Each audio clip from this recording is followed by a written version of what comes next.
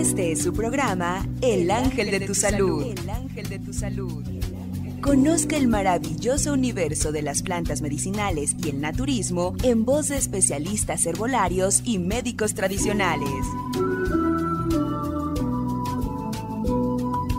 Con ustedes, Rodrigo Mondragón.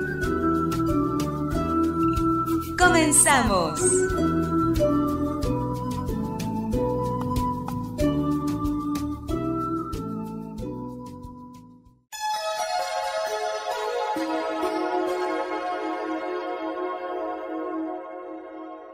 Hola, ¿qué tal amigos? Muy buenos días. Con ustedes, Rodrigo Mondragón, la voz del ángel de tu salud, con el gusto y placer de siempre. Vamos a platicar acerca de la diabetes y el estrés psicológico. Sí, porque se llega a padecer también de estrés psicológico si la persona es diagnosticada con diabetes.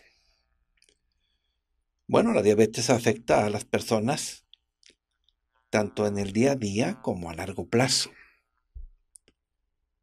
tanto en términos físicos como también en efectos psicosociales. Ya se sabe, ¿no? Que las personas con diabetes corren un riesgo notablemente mayor de experimentar sufrimiento mental, especialmente la depresión. Hay pruebas, ¿no? Crecientes. Entonces, la persona con diabetes y la persona con estrés psicológico, bueno, se da. Es una relación bidireccional entre ambas afecciones. Sin embargo, la depresión a menudo se pasa por alto. No se piensa en ello en las personas con diabetes. Se ignora. Sencillamente no se le hace caso. Es un error. Vamos a ver por qué. En el debut o comienzo de la diabetes puede constituir, en la mayoría de los casos, una etapa crítica. La persona se enfrenta sin esperarlo ¿eh? y por lo tanto sin estar preparada para ello a una enfermedad que es crónica, que va a desajustar toda su vida. Además impone un régimen riguroso del tratamiento y lo debe de cumplir diariamente. No basta con tomar o aquellos que se inyectan, no basta con tomar o inyectarse medicamento en un momento del día, ¿no? O su tratamiento, cualquiera que esté utilizando, lo tiene que utilizar también, tomar diariamente. Sí, crea una obligación, una rutina que para muchos es bastante pesada. Aparte de eso, de que tiene que tomar su tratamiento, pues también debe reajustar toda la actividad diaria. Sí, porque la enfermedad impone nuevas demandas, nuevas obligaciones, cambios. Y el cambio siempre duele. No se recibe con beneplácito. Un cambio sí exige sacrificio. Entonces, pues, eso cae de peso a la persona diabética y por lo tanto sus nervios se alteran. Su tranquilidad pues se ve invadida, ¿no? Y sí, y no hay de otra. Ahora, a pesar de la prevalencia de la diabetes mellitus o mellitus en nuestro país, la educación sanitaria que se posee, bueno, por la población sana, incluso por la persona enferma, esta educación sanitaria es deficiente. Si no hay suficiente información. Pues eso favorece que haya la aparición de prejuicios o también de temores, ¿no? Ante este padecimiento. Eso estresa, el no tener suficiente dominio, control o conocimiento de lo que estoy padeciendo. El diabético recién inicia su via crucis, pues se va a preocupar o se va a angustiar por la forma en que ve que se va a desarrollar su vida a partir de ese momento. No solo por las verdaderas condiciones que le impone pues el proveedor de salud. O sea, la obligación que le implica, que le señala, que le indica, puede que debe tomar su tratamiento por el médico, el consultor naturista o quien sea, pues le va a exigir que sea fiel al tratamiento, ¿no? Que lo haga día con día. Pero aparte de eso, pues, de estas obligaciones impuestas, se le agregan nuevas limitantes sugeridas por otras personas que han cursado con el padecimiento. Algunas sugerencias que son valoradas y bueno, proceden, ¿no? Otras, desde luego que no. Pero en fin, ya valorado aquello que escuchó como recomendación, pues tiene que incluirlo en la rutina o obligación diaria. Entonces, eso hace que perciba la enfermedad como más invalidante de lo que realmente puede ser. No, no puede ser esclavizante. Sí, hay una rutina, hay una obligación de atenderse, de participar, pero está, se le va, puede dar su tiempo y lugar. Habrá que ser más organizados, desde luego. Eso sí, es un requisito del padecimiento. Bueno, por estas razones que estoy mencionando aparece con frecuencia pues la ansiedad, la depresión, ¿no? Pero también hay que atenderla, ¿qué creen? Sí, ya entendimos que es como consecuencia de las nuevas preocupaciones, de los nuevos temores. Sí, porque a veces no hay sensibilidad y le dicen a la persona puedes quedar bastante maltrecho, ¿no? Con ceguera o sin una extremidad.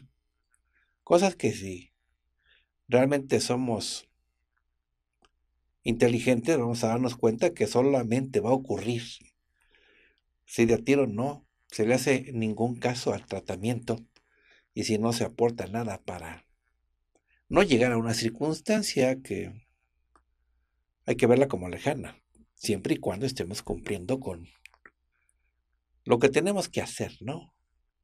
Ya se diagnosticó, bueno, habrá que abocarse a la atención a la contención de eso que pudiera ser en un momento dado muy severo.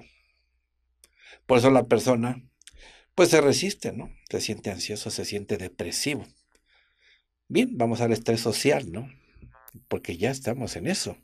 Cuando ya estamos en una situación en la cual pues no hay tranquilidad. Nos cayó de peso la nueva obligación de por sí somos reacios, ¿no? A enfrentarnos a obligaciones. Más hoy en día, ¿no? Las nuevas generaciones no quieren ninguna. Pero bueno, pues esto sí tiene que atenderse. Hay diferentes variables psicológicas que tienen impacto sobre los individuos que viven con diabetes o sobre su capacidad para manejar su enfermedad. Y sí, los factores siguen presentes, ¿no? depresión y estrés. Entonces los pacientes con diabetes sufren de un estrés psicológico importante que hay que atender también. En esto voy, ¿no? No porque sepas el por qué, pues debe de permitirse que haya estragos, nuevo padecimiento, aparte del que ya tenemos, ¿no? En nuestra situación emocional, mental en la psique, en la mente. Sí, hay un diagnóstico ¿no? de una enfermedad que va a cambiar nuestra vida o tal vez puede acortarla. Sí, aunque no queramos aceptarlo o recordarlo, sí tiene que tenerse presente este dato, ¿no? Que puede acortar nuestra vida si no nos aplicamos, ¿no? Puede haber complicaciones serias Sí, también hay que estar consciente, ¿no? Ceguera, neuropatía, nefropatía. Bueno, puede ser. Es lo que tratamos de evitar, ¿no? no llegar a esas lejanías, atendiéndonos precozmente, con prontitud. Claro, hay que enfrentarse, ¿no? Día a día con la responsabilidad de cuidar nuestra salud. Hay que seguir las indicaciones de las personas a las cuales, pues, les hemos solicitado como proveedores de servicios de salud que nos vayan conduciendo. Entonces, aparte de eso, de estar atentos a los tratamientos tal y como se nos indica, hacer ejercicio, no abandonarse. Hay que monitorearse la glucosa, ¿sí? Regularmente. Eh, todo esto ya es un cambio en nuestro estilo de vida. Y ese es el reto más difícil que hay que vencer. Lo vamos a vencer, no hay problema. Estamos en la disposición. Entonces, pues, habrá que abocarnos. Va a ser más fácil si atendemos también eso de la depresión, la ansiedad, o sea, el estrés social o psicosocial. Lo vamos a atender, claro, vamos a hacer una formulación y al mismo tiempo que estamos atendiendo nosotros el excedente de glucosa, pues también vamos a limitar ese estrés psicosocial que nos va a afectar disminuyéndonos. No nos permite motivarnos, gozar de la alegría de la vida diaria, ¿no?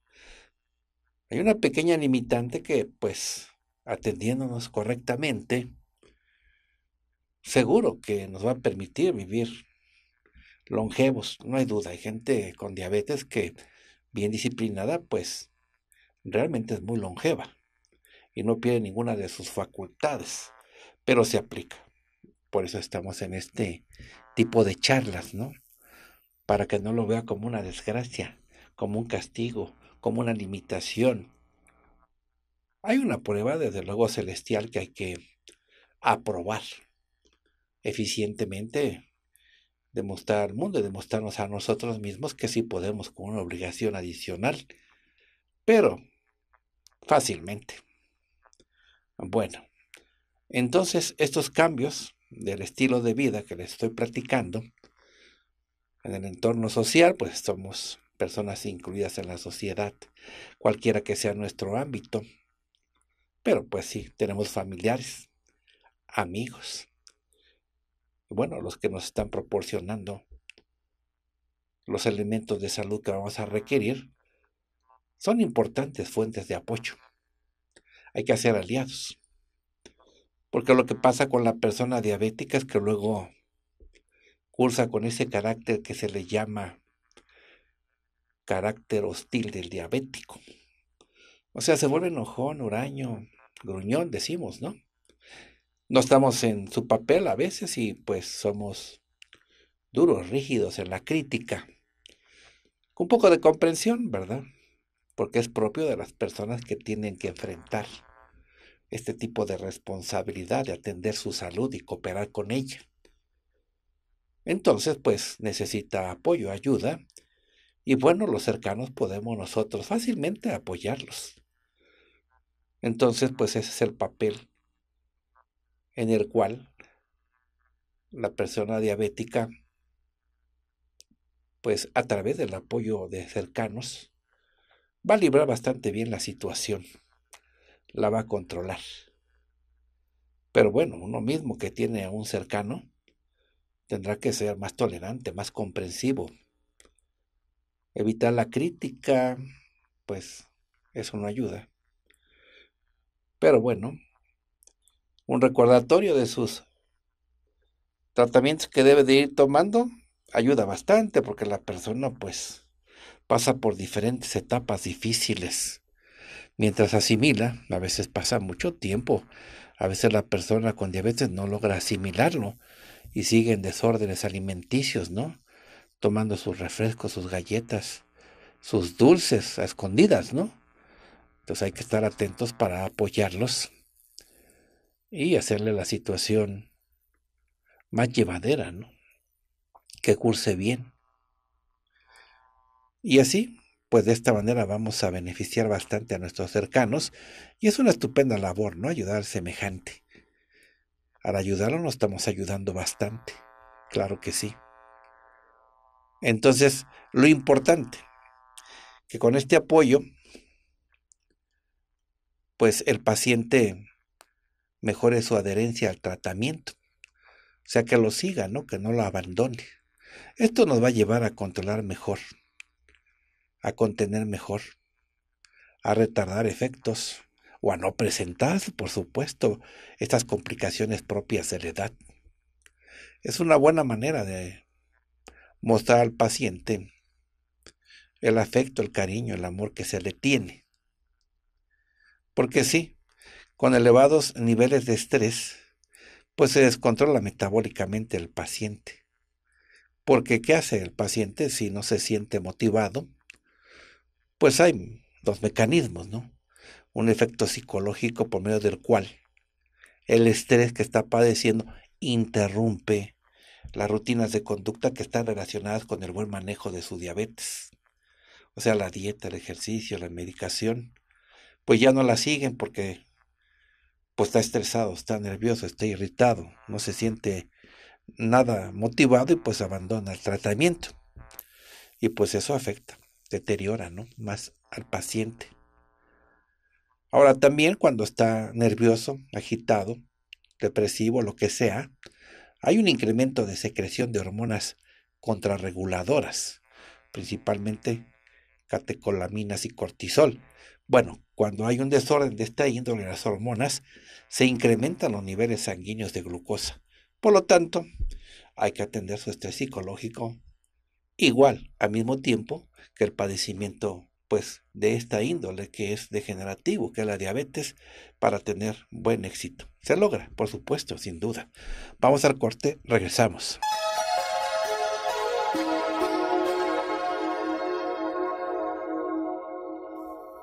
Bien, vamos a platicar entonces acerca de soluciones.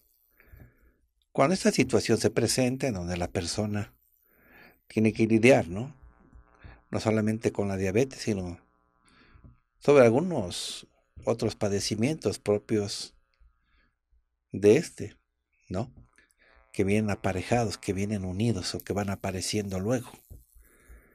Tenemos que buscar, desde luego, contener entonces lo que hay que hacer es utilizar combinaciones de plantas, compuestos vegetales. Los compuestos vegetales pues es la presencia en una mezcla de diferentes elementos vegetales, o sea, de varias plantas, ¿no? Que tienen generalmente el poder de potencializar Sí, se van sumando sus acciones terapéuticas.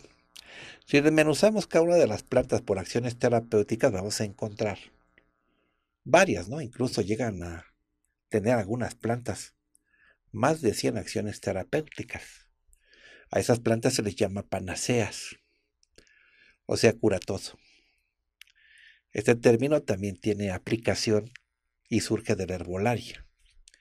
Una panacea es una planta que aunque la palabra lo dice, cura todo, bueno, realmente no cura todo, sino casi, casi todo. Entonces lo que se busca en la herbolaria cuando se hacen compuestos es llegar en la combinación en la cual se van sumando las acciones terapéuticas a una mezcla que tenga poder. En este caso, que estamos hablando de la diabetes que va generando otros males. Pues que todos sean atendidos con una, una combinación de plantas. Se van sumando, por ejemplo, en el tehuasteco. Bueno, no es un secreto. Antiguamente se manejaba como un secreto, como un tabú. Decían un té huasteco, ¿no? Y luego preguntaba uno, ¿y qué lleva? Y bueno, como la herbolaria antes era como mística, ¿no? En poder de unos cuantos. Hoy ya no. Está abierta, ¿no? El conocimiento ya puede ser accesado por cualquiera que tenga interés en conocer la relación de las plantas y la salud. Bueno, pues entonces esta combinación de la cual platicamos se le llama té huasteca porque pues personas de la cultura huasteca ya tiene centurias, ¿no? Reunieron estas plantas. No arbitrariamente. ¿eh? Había conocimiento, hay conocimiento, ese no murió. Decimos nosotros que la herbolaria es una cultura viva, que no está en ruinas, que reverdece cada año, ¿no? O sea, se sigue incrementando el conocimiento porque recibe aportaciones de otras culturas, de otros países. Entonces va acrecentando, ¿no? Se va haciendo más interesante, más poderosa, ¿no? Bueno, los huastecos, ¿no? Son personas que viven en una región, sobre todo abarca parte de los estados de Veracruz, San Luis, Tamaulipas, Hidalgo. Se le llama así desde tiempos de la conquista a esta región que estuvo habitada en su totalidad por los huastecos a partir del año 2000 a.C. Es cuando se registran propiamente los asentamientos en esta región huasteca. Bueno, esas personas de esta área, de los pueblos originarios, pues se les atribuye el haber elaborado el primer tratamiento para mantener controlada la diabetes y lo demás que llega a acontecer con la diabetes que impacta negativamente en nuestro organismo. ¿Qué es lo que lleva? Vamos a mencionar algunas plantas, ya no es un secreto. Quina amarilla, matarique, tronadora, guayacán, chancarro, vainas judías. Son principalmente las plantas que lleva esta mezcla herbal y está exactamente elaborada para casos varios, ¿no? Entre estos casos puede estar la elevación de la glucosa en sangre, y así le llamamos tehuasteco. Así diferenciamos bien de otros compuestos. Hay más compuestos para diferentes propósitos. Es una manera sencilla, ¿no? La gente llega y me da un compuesto para... Así se hacía, se manejaba. Que sea para diabetes. Ah, la persona veía. El, el tómalo. Se toma antes de cada alimento. Y eso te permite controlar tu glucosa evitar daños a tu vista, a tu piel, a tu circulación, a tus riñones. Y no ha habido cambios, ¿no? Cientos de años y lo utilizamos para lo mismo porque siempre ha resultado efectivo el tratamiento. El tehuasteco. Bueno, está con nosotros Si no es que nos platique más cómo podemos utilizar, cómo podemos aprender de qué cualidades más tiene este pues excelente té huasteco. Adelante, te escuchamos, bienvenido. Muchas gracias por la invitación. El té huasteco efectivamente es un compuesto vegetal. Se elabora con distintas plantas que atacan un problema de salud, pero lo hacen cada una de estas plantas de forma diferente, para así poder atender todos los matices de la enfermedad. Es decir, se atiende la causa, pero también los síntomas, incluso las consecuencias, porque se tiene que estimular, por ejemplo, al páncreas para que fabrique insulina, para que esa hormona también sea de cantidad suficiente y sea efectiva. Pero también se debe de evitar que la glucosa se acumule en los tejidos, porque esa acumulación destruye, desgasta tejidos completos. Se debe de atender además algunas complicaciones como la pérdida gradual de la vista, la pérdida gradual de la función renal, la pérdida de piezas dentales, se debe de tonificar al sistema nervioso para prevenir neuropatías, que son esos dolores intensos como toques eléctricos en cualquier parte del cuerpo, se tiene que nutrir bastante, más cuando se observa una pérdida de peso drástica en la persona. Todo eso se logra atender con el compuesto vegetal huasteco y se logra porque el té huasteco contiene plantas que se ocupan cada una de las tareas que mencionamos y así logran cubrir al máximo todo lo que rodea la enfermedad. Puede ser la causa, sí, que el páncreas está siendo insuficiente o que la insulina que se fabrica no es de muy buena calidad. Bueno, se atiende la causa, pero también todo lo que está rodeando a la persona diabética, el cansancio, el sueño, la falta de vigor, por ejemplo, esa micción frecuente, tiene que estar yendo al baño, visitando el baño pues varias veces al día, mucho más durante la noche, se tiene que atender sí ese peso que ha perdido, esas proteínas que está orinando, tiene que atenderse la neuropatía, la caída de cabello, la caída de dientes, todo eso se tiene que atender, pero se logra con este mismo compuesto porque ese es su diseño, atender de pies a cabeza la enfermedad. Además, el té huasteco favorece la función de otros órganos que consideramos nosotros como órganos amargos. El hígado, la vesícula biliar mejoran mucho su trabajo, mejoran mucho su función tomando el té huasteco. Se depuran, se tonifican, agarran fuerza, evitando, por ejemplo, el hígado graso, evitando cálculos biliares, lodo biliar, Náusea, vómito, diarrea, qué peligrosa y común ¿eh? es la diarrea en una persona diabética, sobre todo que tiene una duración de varios días. La persona se desespera, por supuesto.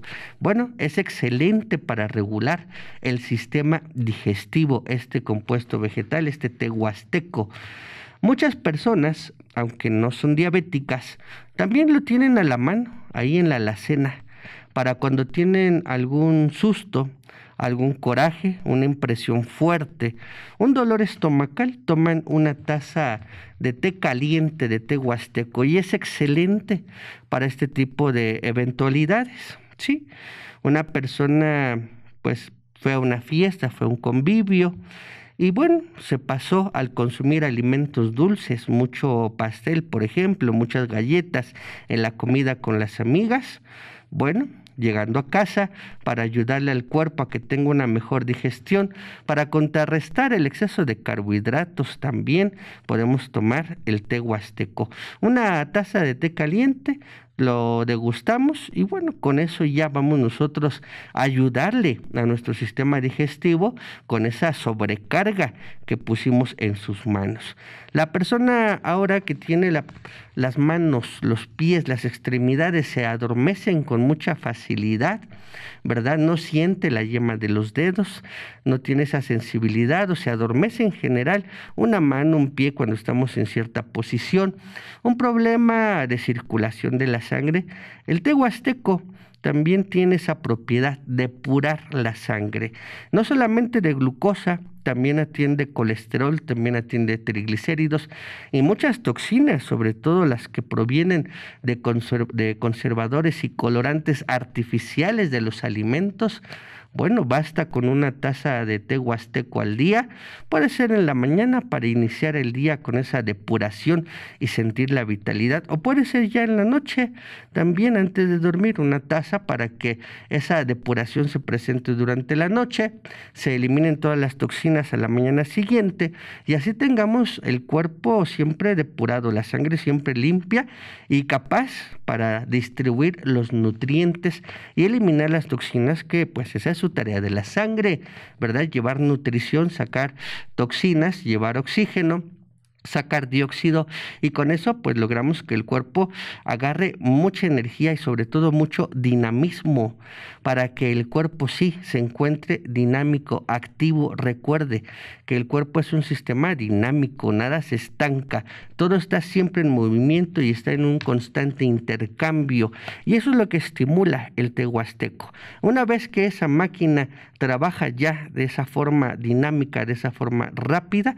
el cuerpo comienza a mejorar muchísimo tanto en su aspecto, sí, la persona luce mucho mejor, como también en procesos internos que no logramos observar, pero logramos sentir mucho el cambio. La digestión mejora bastante, ¿verdad? El hígado empieza a hacer su trabajo mejor, que es el de neutralizar toxinas y bueno, trabajo hormonal que son más de 700 funciones reconocidas hoy en día y, y eso pues hace que las hormonas del cuerpo se vayan regulando, que las grasas del cuerpo se vayan regulando, no se estanquen, se transporten, que la circulación de la sangre mejore mucho, la función del cerebro, sí, la memoria, la capacidad de aprendizaje aumentan como por arte de magia, pero no, no es arte de magia, es simplemente que estamos mejorando las funciones corporales. Y lo hacemos con el té huasteco, Rodrigo. Vamos al corte, regresamos.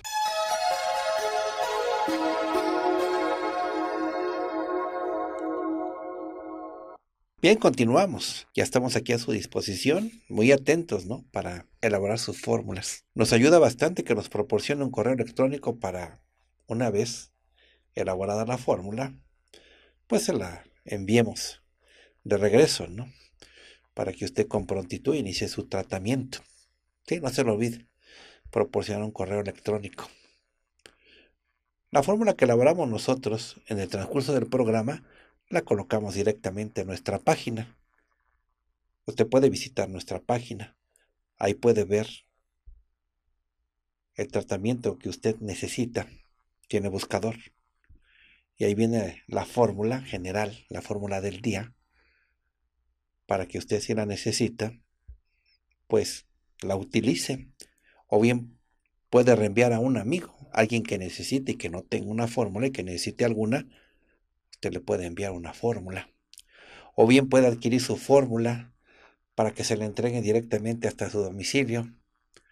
O bien puede enviar una fórmula a algún cercano, algún conocido, algún familiar para que inicie el tratamiento luego, luego. Le llega hasta las puertas de su hogar y no se paga por el flete, por el envío, es gratis. Aproveche. Bien, nuestra página entonces para que la visite es www la voz del ángel de tu salud.com.mx. Menciono de nuevo www.lavozdelangeldetusalud.com.mx.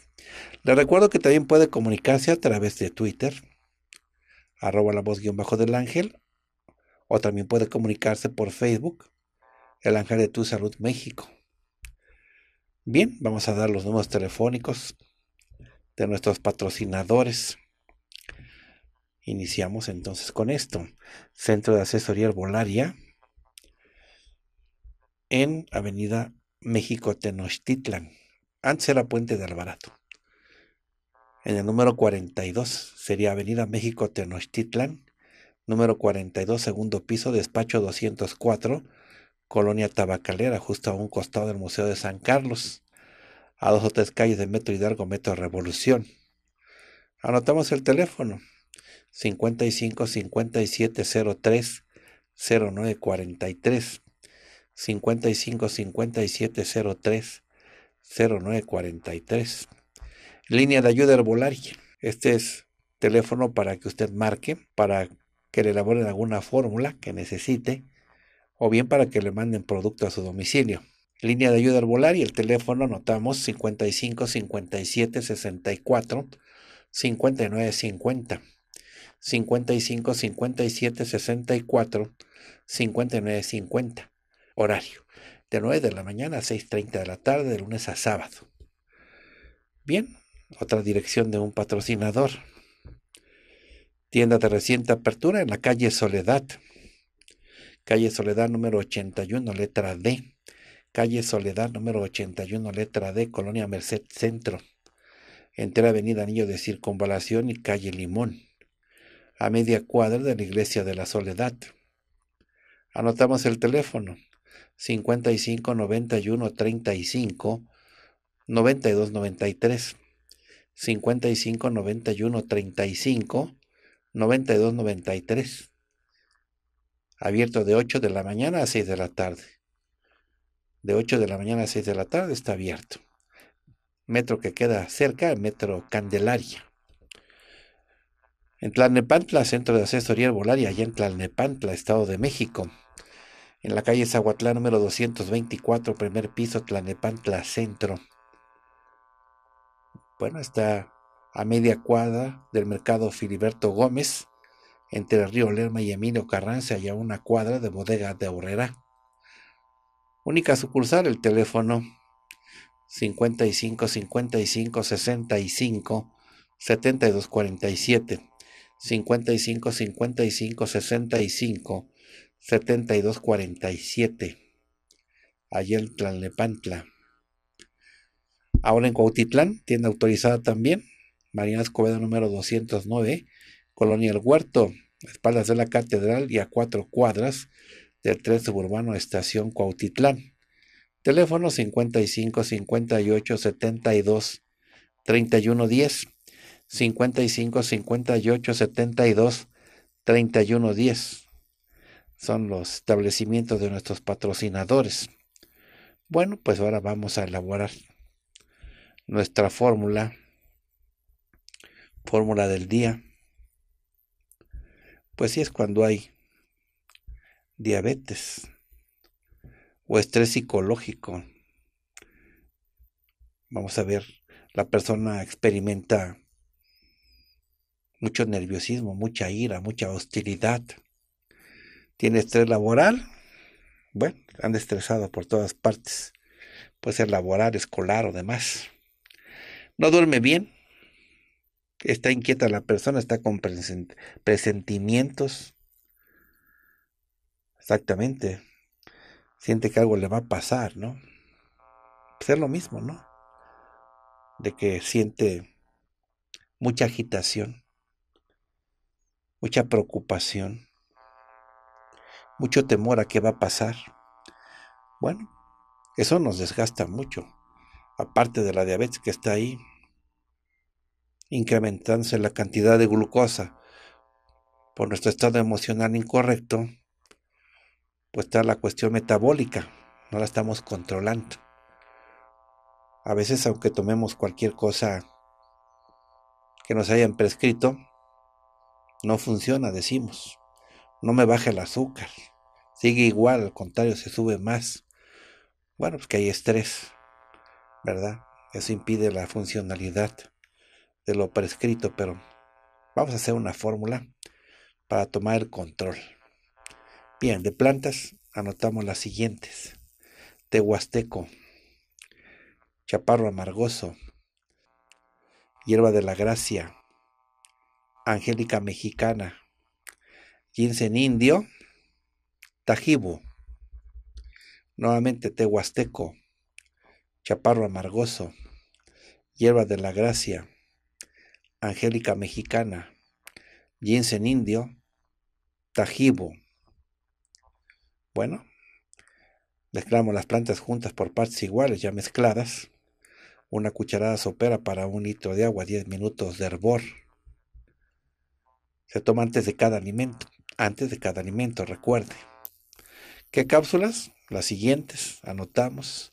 Utilizamos trébol rojo,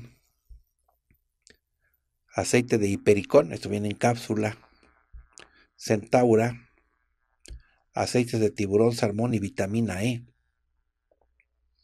Menciono otra vez. Trébol rojo, aceite de hipericón, centaura, aceites de tiburón, salmón y vitamina E. De estas cápsulas, una de cada una se toman antes de cada alimento. Una de cada una se toman antes de cada alimento. El suplemento del día, elixir que contiene aloe, gurma y tecoma. Menciono otra vez elixir que contiene aloe, gorma y tecoma. La clave es 1814, clave 1814. Se toma un vasito dosificador del elixir al levantarse y otro vasito dosificador antes de acostarse. Dos veces al día, no se lo olvide. Hay que monitorearse la glucosa diario, no se lo olvide tampoco. Bueno, esto se hace diario tomarse su elixir y checarse la glucosa para ver cómo va trabajando el tratamiento, ¿no? Seguramente bien, pero de todas maneras hay que utilizar el tratamiento adecuadamente. Vamos al corte, regresamos.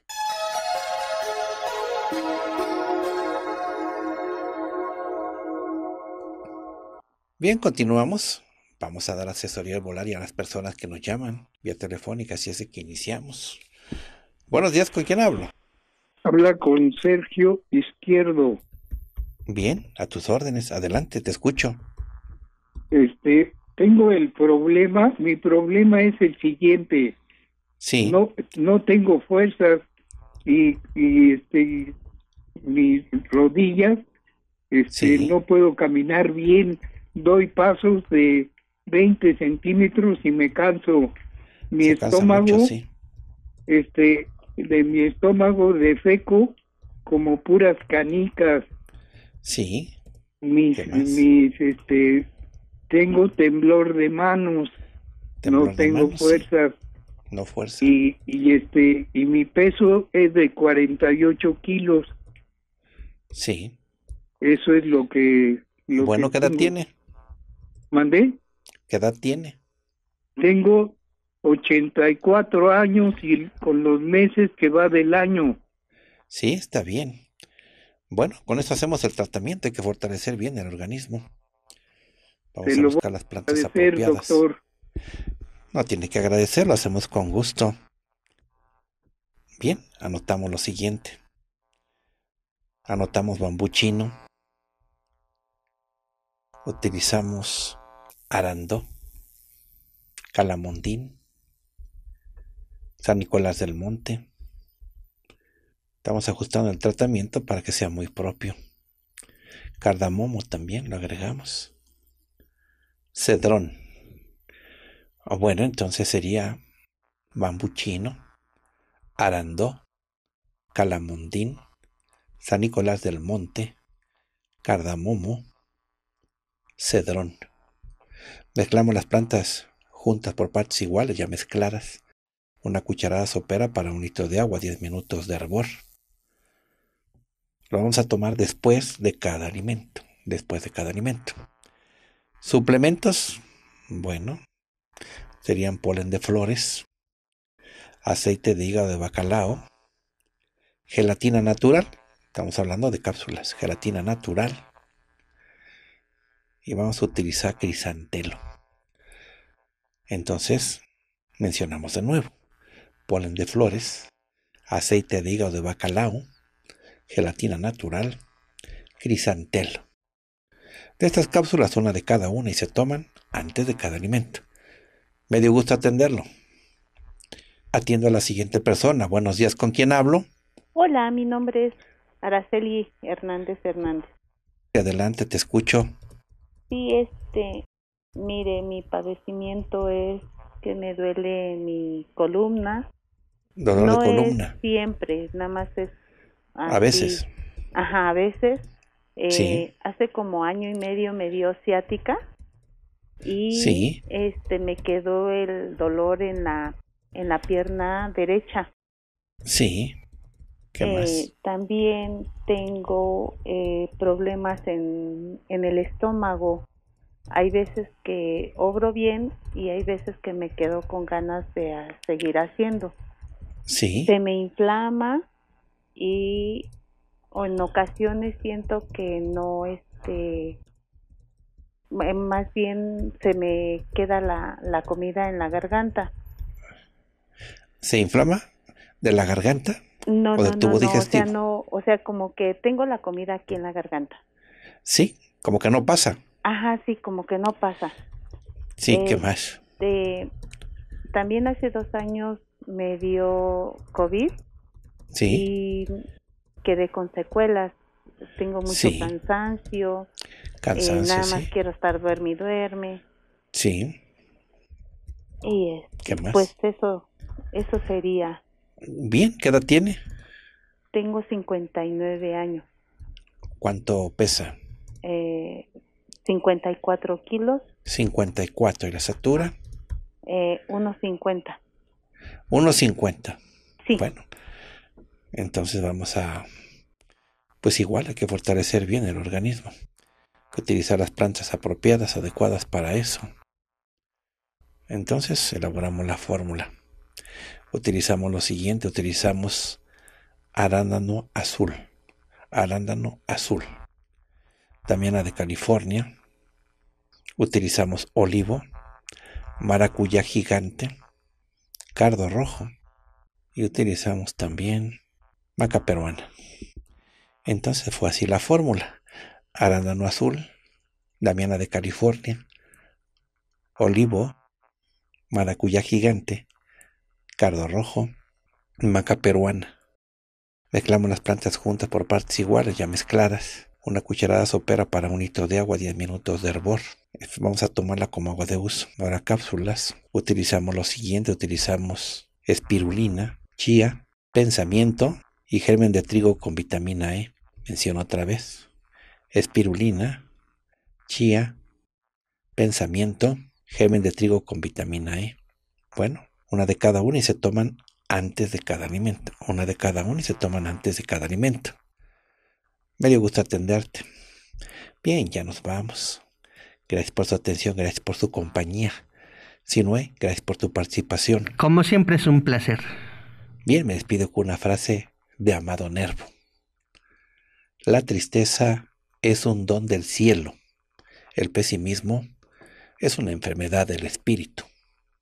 Hasta luego, que esté muy bien. Este fue su programa El Ángel de tu Salud. El Ángel de tu Salud. El Ángel de tu Salud. El Ángel de tu Salud. Escúchenos de lunes a viernes por esta estación.